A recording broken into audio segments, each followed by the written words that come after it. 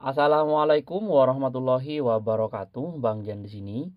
Di video kali ini saya akan membagikan tutorial cara mengaktifkan suara pengisian daya di HP Xiaomi Redmi 13C. Nah, teman-teman, untuk saat ini di HP Xiaomi Redmi 13C saya, saat saya melakukan pengisian daya seperti ini.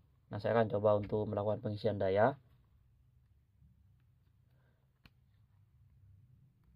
Dia tidak mengeluarkan suara teman-teman. Dan hal ini e, berisiko saat kita tidak melihat layar HP Xiaomi Redmi 13C kita saat melakukan pengisian daya. Bisa saja e, pengisian daya yang kita lakukan tidak berhasil dan kita tidak mengetahuinya teman-teman. Beda halnya kalau suara pengisian dayanya diaktifkan. Nah, kemudian bagaimana cara untuk mengaktifkan suara pengisian daya di HP Xiaomi Redmi 13C? Tanpa berlama-lama langsung saja kita ke tutorialnya.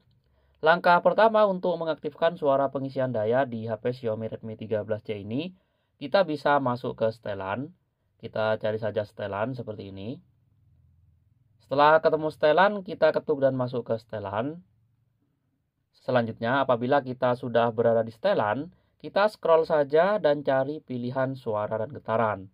Nah, dia ada di bagian sini, teman-teman kita ketuk dan masuk ke suara dan getaran. Setelah itu di suara dan getaran kita scroll hingga ada pilihan setelan tambahan. Nah ini dia, kita ketuk saja setelan tambahan seperti ini.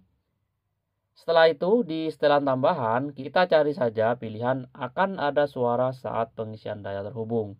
Nah dia ada di bawah sini teman-teman. Untuk mengaktifkannya kita tinggal ketuk saja tombol dari pilihan ini. Kita ketuk maka untuk selanjutnya saat kita melakukan pengisian daya, HP Xiaomi Redmi 13C kita dia akan mengeluarkan suara. Oke, kita coba untuk melakukan pengisian daya teman-teman. Kita coba ya, seperti ini.